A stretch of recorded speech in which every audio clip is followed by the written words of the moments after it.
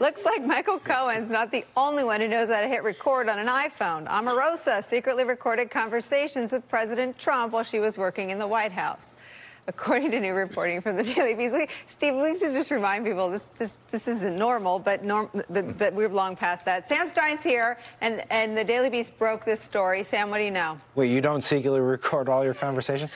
Uh, what we know is that Omarosa secretly recorded her conversations with Donald Trump, at least part mean, of them. That's awesome. Is Tom Arnold watching? I mean, here are the tapes. We found them. Omarosa's got them. What, what, what, what's on them? That, well, we don't, that, know? that we don't know. We, we um, our reporters talked to a source who heard the tapes.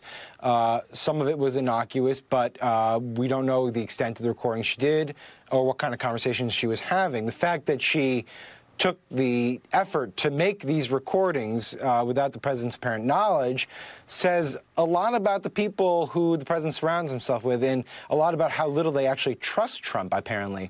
Uh, obviously, she's not the only person who uh, made these recordings. Uh, she has a book coming out. This is part of the publicity tour for the book, uh, but I will say it does seem likely that the book will be explosive.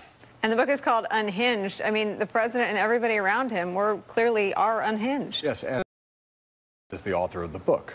You I know, said she, that, yeah. Yes, I mean, everybody likes that. Yeah. I just, right, I mean, I didn't give her a job in the West Wing. He did. No, I, I no, mean, I'm, uh, yes, I mean, of course, I mean, of course, yeah. But again, as you were pointing out during the break, I mean, how does that set her apart from a lot of other people working in the White House? Correct. I mean, but I will say, during yes. break, I'm going to play. I actually secretly recorded Sam in the green room before the show.